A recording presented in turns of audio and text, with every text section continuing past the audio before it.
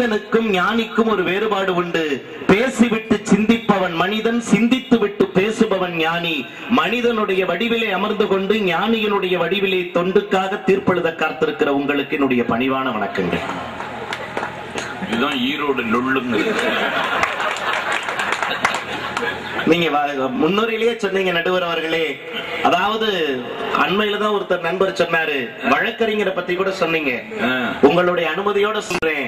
ஒரு நல்ல வழக்கறிஞருக்கும் ஒரு சிறந்த வழக்கறிஞருக்கும் ஒரு ஒரு வேற்றுமை இருக்குங்க ஒரு நல்ல வழக்கறிஞருக்கு சட்டம் தெரியும்.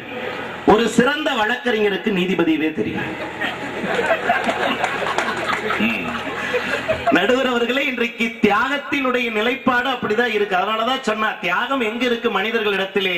கல்லழகர் வைகை ஆற்றில் கல்லழகர் வைகை ஆற்றில் ஸ்ரீரங்கன் காவிரி ஆற்றில் ஐயப்பன் பம்பை ஆற்றில் அப்பாவி மனிதன் நட்டாற்றில் பரிதவித்துக் கொண்டிருக்கிறான் என்பதுதான் இன்றைக்கு உலகம் நடிக்கொண்டிருக்கிறது அதனாலதான் ஒரு கவிஞன் சொன்னா பல்கலைக்கழகங்களை எல்லாம் பஜனை மடங்கள் ஆக்கிவிட்டால் சோறு கிடைக்காத மக்களுக்கு சுண்டலாவது கிடைக்கும். அங்கும் நம் தலைவர்களை விட்டுவிட்டால் சுண்டல் கொடுப்பதிலும் சுரண்டல் அல்லவா நடந்துவிடும் என்று சொன்னாங்க.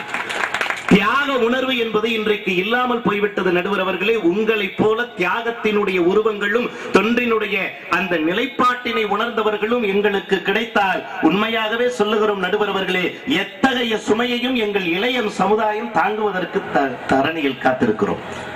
இன்றைக்கு என்ன இருக்குன்னு நினைச்சிட்டு இருக்காங்க. எங்கள் எட்டயபுரத்து கவிஞன் சொன்னான் வையகம் காப்பவரேனும் சிறு வாழை பழக்கடை வைப்பவரேனும் பொய்யகல தொழில் செய்தே பிறர் நலம் பேணிட வாழ்பவர் எவரோ அவரே பெரியோர் என்று சொன்னார். இப்படிப்பட்ட பல்லவராயர் ஐயா அவர்களுக்காகவே சொன்னார் இவர்தான் பெரியோர் என்பதை அன்றைக்கு சொன்னார். இன்னும் ஒரு படி மேல சொன்னா கவிப்பேரரசு வைரமுத்து ஒரு திரை இசை பாட்டுல கூட அழகா சொன்னாரு. இன்னொரு உயிரை கொன்று ரசி இன்னொரு உயிரை கொன்று புசிப்பவன் மிருகமடா. இன்னொரு உயிரை கொன்று ரசிப்பவன் அரக்கனடா. யாருக்கும் தீங்கின்றி வாழ்ந்தவன் மனிதன் ஊருக்கே வாழ்ந்து உயர்ந்தவன் புனிதன் என்று சொன்னார் பாருங்க. அப்படிப்பட்ட ஒரு புனிதருடைய பதிமூன்றாம் ஆண்டு நினைவு நாள் விழாவிலே அற்புதமான ஒரு பட்டிமன்றம் அதிலே அற்புதமா எங்களை எல்லாம் இடையத்தை அழகு பார்த்திருக்கீங்க. சரி.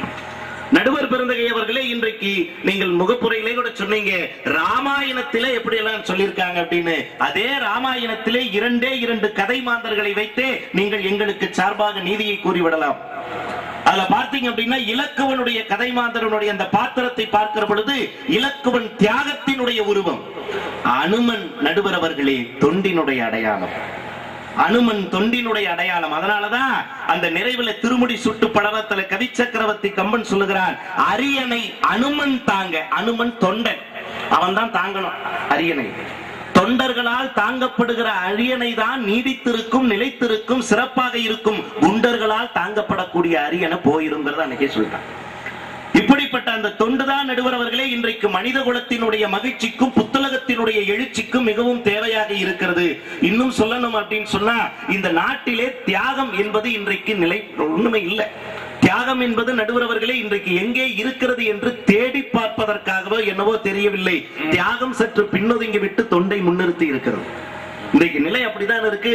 நல்ல விஷயங்களை செய்கிற பொழுது பார்த்தீங்க அப்படின்னா அதற்கு மற்றற்ற மகிழ்ச்சி நமக்கு கிடைக்க நடுகிறவர்களே இரா பார்த்திபன் என்கிற திரைப்பட நடிகர் சொன்னார் கருணையினுடைய வடிவாக தொண்டினுடைய வடிவமாக இருந்த அன்னை தெரசாவை பற்றி சொன்னார். தாயே. பார்த்திபன் இந்த சீதாவை கைவிட்டான் அவரே தான் அதனாலதான் அந்த கவிதை தொகுப்புக்கு கிறுக்கல்கள்னு வச்சிருந்தாரு. கிறுக்கல்கள்னு வச்சிருந்தாரு. தாயே நீ கருவுற்றிருந்தால் ஒரு குழந்தைக்கு மட்டும்தான் தாயாகி இருப்பாய். கருணையுற்றதால் இந்த உலகற்கே தாயானா என்று சொன்னார் பாருங்க. அந்த வரிகள் அது தொண்டு அவருக்கு கொடுத்த மிகப்பெரிய உச்சம் நடுகிறவர்கள் ஆ.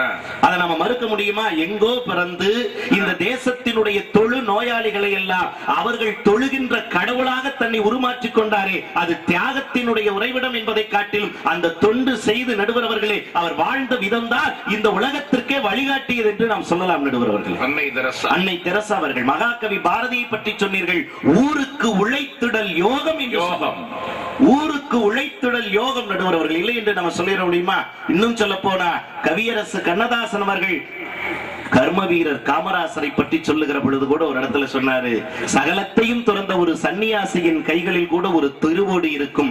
அந்த ஒரு ஓடு கூட இல்லாத அரசியல் துறவிதான் கர்ம வீரர் காமராசர் என்று அழகாக சொல்லுவார். அந்த காமராசரை பற்றி சொல்லுகிற பொழுது தொண்டுக்கென்றே அலைவார் கேலிக்கு ஆளாவார் கண்டுகொள்வாரடி ஞானத்தங்கமே.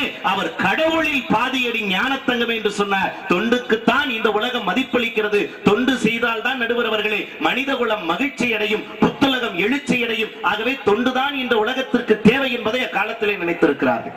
நீங்க கூட என்னை அறிமுகப்படுத்தினீங்க. தம்பி ஈரோட்டில இருந்து வராருன்னு.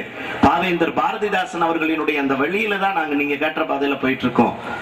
என தந்தைக்கும் தாய்க்கும் மக்கள் தனையின்ற தமிழ்நாடு தனக்கும் திணையளவு நலமை என்னும் கிடைக்கும் என்றால் செத்தொழியும் நாள் எனக்கு திருநாளாகும் என்று பாண்ட என் பரிசிலே பாவேந்தர் அவர்கள் சொன்ன வார்த்தை எங்களை தமிழ் படிக்க வைத்தது நடுவர் அவர்கள்.